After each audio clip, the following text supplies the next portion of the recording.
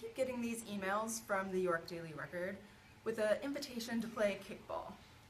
Now, these emails come maybe a couple hours before the kickball game is, is scheduled to happen.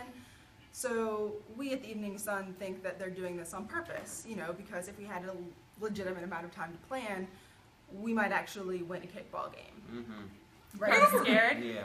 So, the Evening Sun staff would like to officially challenge the York Daily Record to a kickball game. Any takers? Boom. Boom. Boom.